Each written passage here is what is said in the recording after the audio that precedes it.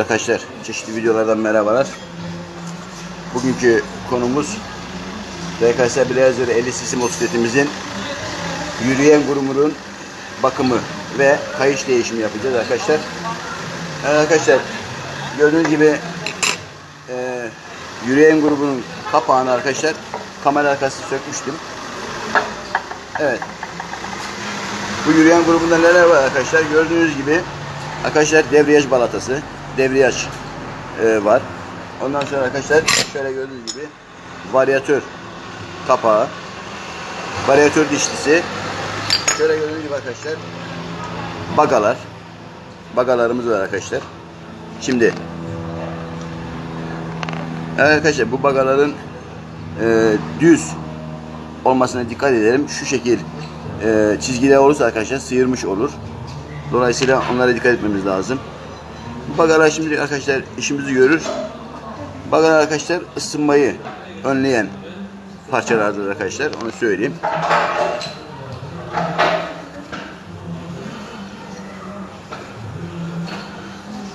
Evet arkadaşlar.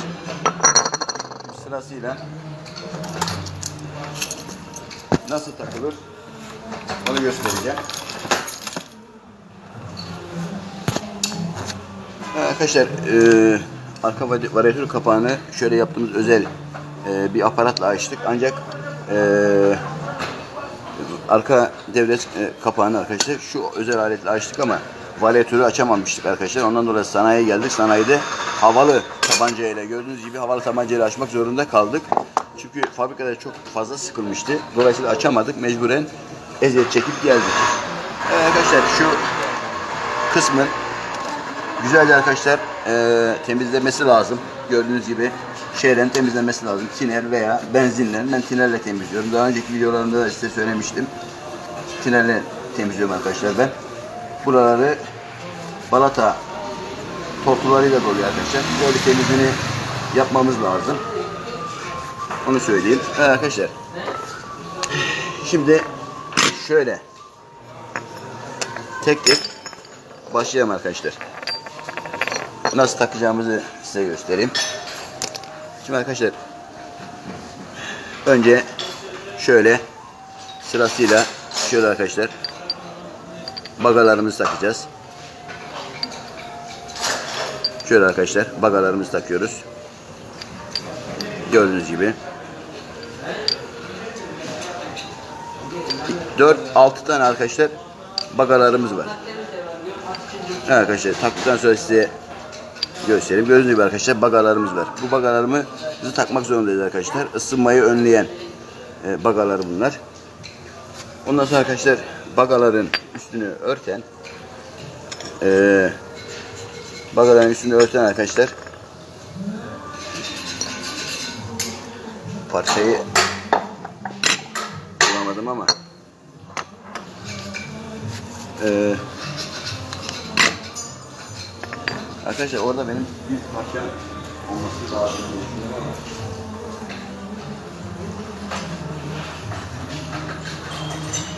Tamam tamam. Tamam. Evet arkadaşlar o bagaların üstünü örten şöyle gördüğünüz gibi bir metal parçamız var arkadaşlar. Onu da güzelce bir şöyle siliyoruz. Şöyle sildik arkadaşlar.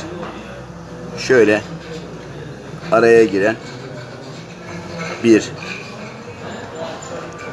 iki üç tane arkadaşlar plastik malzemeden yapılı şeyimiz var arkadaşlar. Onları takıyoruz. Şöyle arkadaşlar bagalarımızın üstüne şu şekilde arkadaşlar gördüğünüz gibi yerleştiriyoruz. Evet arkadaşlar. Gördüğünüz gibi yerleştiriyoruz. Sonra arkadaşlar şöyle kriz yağı lazım bize arkadaşlar. Kriz yağı arkadaşlar şu kısmı gördüğünüz gibi arkadaşlar hafif böyle kriz yağı alıyoruz arkadaşlar. Dışarı taşmamak kaydıyla şu şekil hafif yağladıktan sonra Evet arkadaşlar yağladıktan sonra şöyle şurada bir tane milimiz var arkadaşlar. Milimizi görüyorsunuz. Minimizde arkadaşlar hafif böyle şöyle kriz yağı sürüyoruz. Yarısına kadar. Şöyle arkadaşlar yarısına kadar. Kriz yağı sürüyoruz. Ondan sonra arkadaşlar şöyle göbeğe oturtuyoruz. Arkadaşlar bu tarafın yağlı olmamasına dikkat ediniz. Onu söyleyeyim. Şöyle yağlardan arındırmamız lazım arkadaşlar. Onu söyleyeyim. Gördüğünüz gibi yağlardan arındırıyoruz. Şöyle tutup arkadaşlar.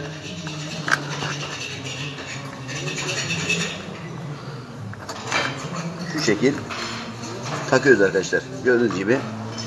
Arkadaşlar kayış koptuktan sonra aslında kopma kayış kopmamış olsa kopmadan önce arkadaşlar e, devriyajı söküp e, aslında kayışı e, varyatörü sökmeden takabilirdik. Ama kayış koptuktan sonra varyatördeki bagalar e, arkadaşlar e, yer değiştirdiğinden, şekil değiştirdiğinden dolayısıyla e, kayışı alamayacak duruma geliyor. Dolayısıyla varyatör kapağını sökmek zorunda kaldık. Onu söyleyeyim. Şimdi varyatör kapağımızı taktık arkadaşlar. Gördüğünüz gibi arkadaşlar kayışımızı takacağız. Şimdi gördüğünüz e, arkadaşlar devriyaj. Şimdi kayışımızı arkadaşlar takmak için şöyle devriyajımızı arkadaşlar gerili, geriletiyoruz. Gördüğünüz gibi. Şu şekil arkadaşlar yuvasına oturtuyoruz. Şu şekilde arkadaşlar takıyoruz. Gördüğünüz gibi arkadaşlar. Oturtma şeklini gördünüz. Arkadaşlar yalnız e, şuraya e, yağlamayı unuttum. Biraz işlerimiz yoğun ondan.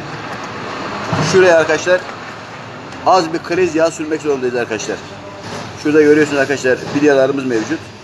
E, orta deliğe e, kriz yağ sürmemiz lazım. Az bir şey arkadaşlar. Çok sürersek o dönme ile e, kapağa kadar gider ve kayma yapar arkadaşlar. E, motorun çekici düşer. Dolayısıyla hafif şöyle gördüğünüz gibi yağlama yapıyoruz. Şimdi tekrar aynı işlemi yapalım arkadaşlar. Arkadaşlar bu kayışın bulunduğu kısmı yağlı olmaması lazım yoksa kayar yani. O özellik e, geçinceye kadar kayış kayma yapar. Motorun çekici düşer. Onu size söyleyeyim. Motorun çekicinin tamamıyla e, arkadaşlar e, durumu gördüğünüz gibi e, aslında e, balatalara bağlı. Normal şartlarda balataları arkadaşlar e, zımparalamamız lazım. Şu an elimizde zımpara var mı bilemedim ama zımparamız yok. Şurada zımparalayıp böyle takmamız lazım ama şimdilik geçici bir şekilde ben size gösteriyorum nasıl olacağını. Şimdi tekrar arkadaşlar şöyle kayışımızı alıyoruz. Şu şekilde arkadaşlar geriyoruz. Kayışımızı aldık. Arkadaşlar şu şekil gördüğünüz gibi. Gördüğünüz gibi arkadaşlar kayışımız bu şekil. Şöyle geldikten sonra arkadaşlar yuvasına oturtuyoruz. Gördüğünüz gibi arkadaşlar yuvasına oturdu. Kayışımızı bu şekil bırakıyoruz arkadaşlar. Bu kadar basit. Yani tekrar söyleyeyim arkadaşlar. Yani e, yürüyen grubunun kapağını sökmek basit. Onu söyleyeyim. Hadi e, şunu söyleyeyim. Devreç kapağını sökmek, şu aparatla devriyaj kapağını da sökmek basit ama e, varyatör kapağını sökmek çok basit arkadaşlar. Onu söyleyeyim. Basit değil. Onun için sanayiye geldik. Sanayide arkadaşlar rica ettik. Bize verdi. Söküyoruz. Evet arkadaşlar bu şekil takıyoruz. Şimdi varyatör kapağımızı takalım arkadaşlar. Şöyle gördüğünüz gibi dişli var arkadaşlar. Oturması lazım. Görüyorsunuz arkadaşlar. Dişli oturdu. Şimdi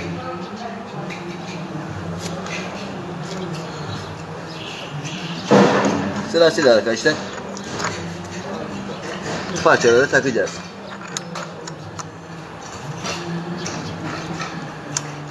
Evet arkadaşlar dişlerin oturması şart arkadaşlar onu söyleyeyim. Gördüğünüz gibi arkadaşlar somunumuzu takıyoruz. Ondan sonra vidamızı takıyoruz arkadaşlar. Vidamızı taktık. Evet arkadaşlar. Şimdi hafif arkadaşlar ee, hafif arkadaşlar sıkalım. Çok sıkmayalım çünkü başımıza bela olmasın. Çok sıktığımız zaman arkadaşlar e, tamirci bulunmadığı yerde olsa nasıl sökeceğiz? Şöyle arkadaşlar bir defa yeter diye düşünüyorum. Artık çıkmaz. Gördüğünüz gibi arkadaşlar. Şimdi arkadaşlar evet ee, devriyaj kapağını takıyoruz arkadaşlar gördüğünüz gibi. Devriyaj kapağımızı taktıktan sonra arkadaşlar somunumuzu, somunumuzu takıyoruz. Evet arkadaşlar somunumuzu taktıktan sonra bunu arkadaşlar özel kendi yaptığımız aparatla sıkalım. Hiç zorlanmayalım arkadaşlar. Bu aparatla sıktıktan sonra yeter. Onu size söyleyeyim arkadaşlar. Evet. Kendi aparatımızla sıkalım. Evet. Evet arkadaşlar. Şöyle.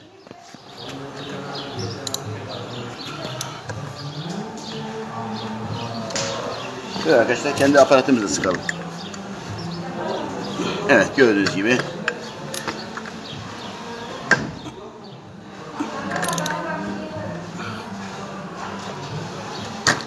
Yeter arkadaşlar bu kadar. Bu kadar yeter.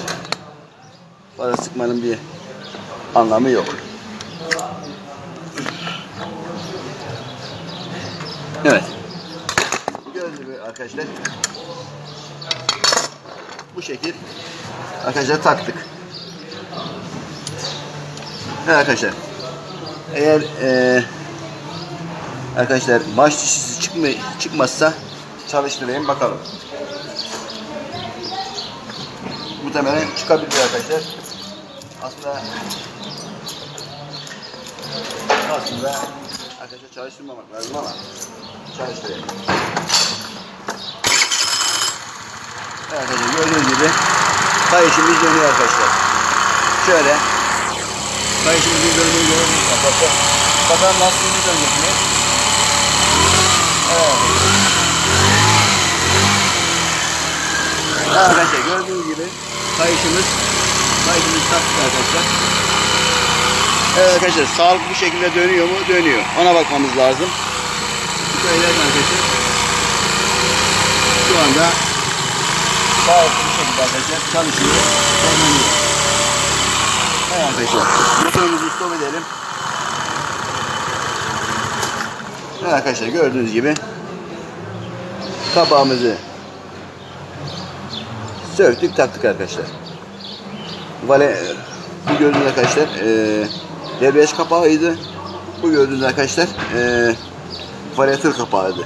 Debriyaj kapağını arkadaşlar bir nevde sökmek basit ama varyatörü sökemiyoruz arkadaşlar. Onu söyleyeyim. Onun için e, mecburen bazen havalı tabanca gerekiyor. Bilginiz olsun. Her ikisini şu an taktık arkadaşlar. Baktığımız zaman hiçbir sıkıntı yok. Evet. Sıkıştırdık. Çok sıkıştırmanın da bir anlamı yok arkadaşlar. Şimdi arkadaşlar şimdi civatalarımızı takıp civatalarımızı takıp kapağımızı kapatacağız. Sonra malzemelerimizi toplayacağız. Evet arkadaşlar bu civatalardan bir tanesi uzun arkadaşlar. Onu aklımızda yer edindik. Bu uzun civatayı arkadaşlar çıkardığımız yere, yere arkadaşlar direkt takalım. Bunlardan bir tanesi uzun. Bu arkadaşlar uzun. Bu sadece tek bir yere takılacak arkadaşlar. Bunu şöyle ayırıyoruz. Evet arkadaşlar şimdi yürüyen grubumuzun şöyle arkadaşlar kapağını yavaş yavaş takalım arkadaşlar.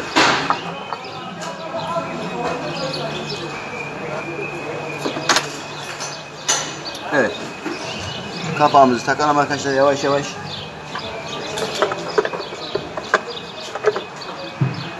Evet arkadaşlar gördüğünüz gibi kapak da yerine oturdu. Lazım mı? Lazım değil bitti. Teşekkür ederim. Çok teşekkür ederim. Şimdi arkadaşlar kapağı taktık oturdu. Gördüğünüz gibi. Evet. Uzun civatamızı arkadaşlar aldığımız yere takacağız. Hemen unutmadan. Aklımızda yer edinmişti arkadaşlar. Şöyle hemen değiştiriyoruz arkadaşlar. 8 dokma anahtarla 8 dokma anahtarla arkadaşlar şöyle hafiften takalım. Sonra sıkıştıracağız. Arkadaşlar bunları çok sıkıştırmamak lazım. Çünkü yalama yapıyor arkadaşlar. Alüminyum yapıdan. alüminyum malzemeden yapıldığında arkadaşlar çok sıkıştırmamak lazım onu söyleyeyim. Evet. Şöyle tek tek arkadaşlar takalım. Gördüğünüz gibi. Evet arkadaşlar. Tek tek takıp sonra sıkış- sıkıştırma işini yapacağız arkadaşlar. Çapraz yapalım. Ama çok sıkıştırmayalım arkadaşlar. Onu söyleyeyim. Evet. Sırasıyla arkadaşlar civatalarımızı takıp önce boşluğunu alıyoruz arkadaşlar. Şöyle gördüğünüz gibi arkadaşlar önce boşluğunu aldık. Evet arkadaşlar devam ediyoruz.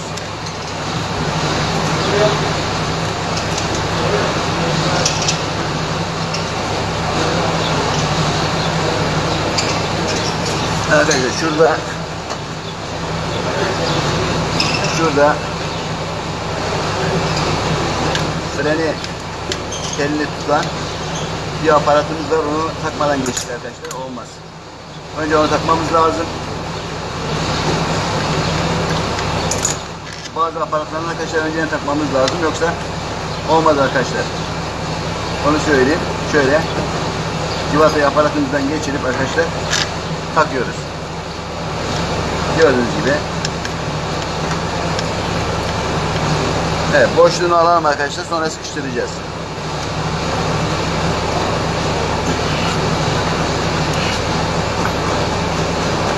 Evet arkadaşlar. Devam ediyoruz.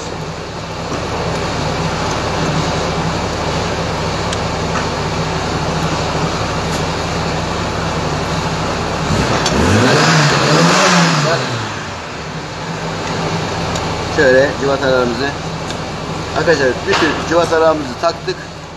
Boşluklarını aldık. Sadece arkadaşlar yavaş yavaş sıkacağız. Fazla sıkmadan arkadaşlar. Şöyle bir. Şöyle iki arkadaşlar. Şöyle üç. Çapraz şeklinde arkadaşlar. Dört. Evet arkadaşlar.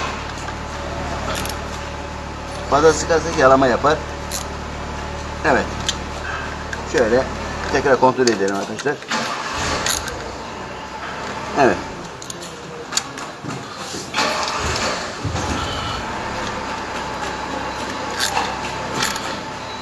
Evet arkadaşlar fazla sıkmanın bir anlamı yok. Gördüğünüz gibi. Evet arkadaşlar. Şimdi motosikletimizi çalıştıralım. Tamamdır.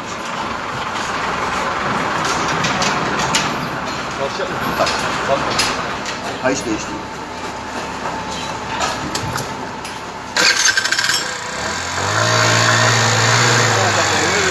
Tekerleğimiz dönüyor. Kayışı değiştik. Nasıl değişeceğini göstermiştik. Ee, ne şekilde değişeceğini göstermiştik ama zorluklarını da söyledim. Bazı vidalarını havalı tabanca olmadan sökemiyoruz. Ee, umarım faydalı olmuşuzdur. Bir sonraki videolarda görüşmek üzere. Hoşçakalın.